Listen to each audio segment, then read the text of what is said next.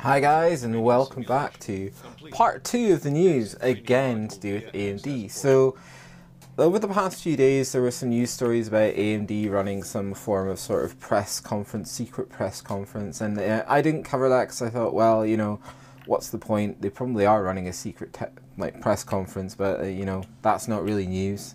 It's that time of year where AMD like to build up towards CES, that tends to be what they do. Um, but some news has come out today, so loads of people are covering it. Um, uh, Paul's Hardware did a really, really good video about it, really quick. Um, so I just want to touch on it because I've read a few articles now from TweakTown and other people, but I, am actually on Radeon's website at the moment. Um, so it's called Radeon Instinct. Uh, so this is really Radeon or AMD's way of dealing with big data. So they point to the fact that every day 2.5 quintillion bytes of data is generated. Uh, and then how are we going to deal with that? How can business use that? How can we leverage that? Um, so to cut a long story short, essentially what they're doing is they're taking their GPUs and their upcoming uh, Naples CPU and they're um, linking them together into a product that companies can buy to deal with large data.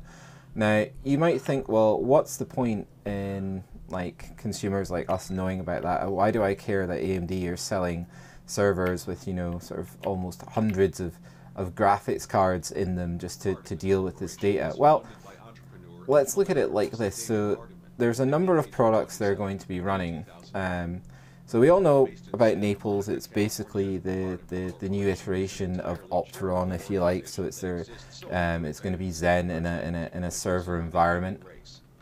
So that's fine. Um, along with that, they're going to be offering um, three tiers of GPU, which is where the Instinct comes in.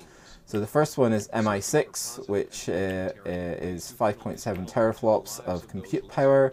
224 gigabytes per second memory bandwidth and less than 150 watts, so that sounds a hell of a lot like the um, RX 480 to me, uh, and I think it is from what they've been talking about. Um, the MI8, which is 8.2 teraflops of compute power, 512 gigabits per second of memory bandwidth, and 175 watts, or less than 175 watts TDP. Now, AMD have already come out and said that that is essentially a um, what what we would have called a Fury Pro. So what's more interesting for me is the MI25, which AMD are stating on their website is going to be using Vega. So that's where we come in, guys. We might get some information about Vega. So this is the product here that um, they're going to be putting the MI25 into, which, uh, wait for it, has three petaflops of GPU compute power. So three petaflops is essentially 3,000 teraflops. So in this uh, package, they're going to be packing 120 Radeon Instinct MI25 GPUs. So these GPUs are using Vega. We've already uh, established that. So, so you simply divide 3 petaflops, so 3000 teraflops of compute power by 120 MI25 GPUs, you get 25 teraflops. 25, a card that can deliver 25 teraflops of GPU compute power. That is absolutely unbelievable.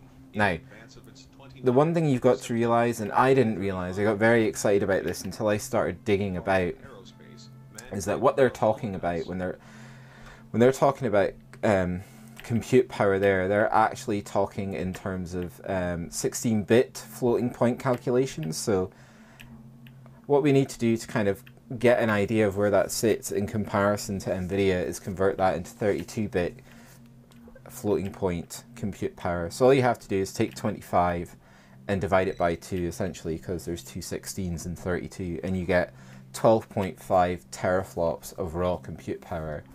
Now that is giving you more raw compute power than NVIDIA's current flagship, the Titan XP. Now I'm not saying that the card they're putting in this server here is going to be the card that they're going to be releasing to the consumer, but surely to God, it's a good sign that AMD are publicly, you know, this is public, so this is confirmed. You know, this is this has been pulled from their website. Um, you know, so there's, there's no bullshit here, guys. This is what the numbers AMD are stating that this card is going to basically provide 12.5 teraflops of raw compute power.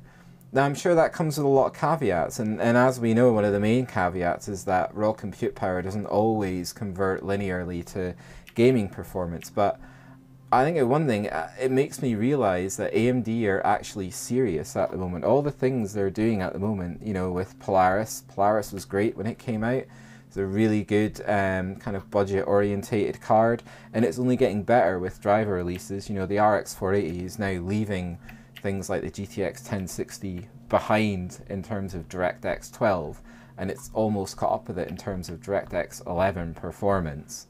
Um, you know, so for me, this is a really good sign that Vega is actually real, that we are actually going to see something from AMD um, that is going to compete at the high end, the sort of upper to high end GPU market. And if anything, it makes me even more confident that Zen is going to be a is going to be a good thing. It's going to be a success. And that's really it, guys. There's there's nothing else I really want to say about this. I just wanted to bring this to your attention.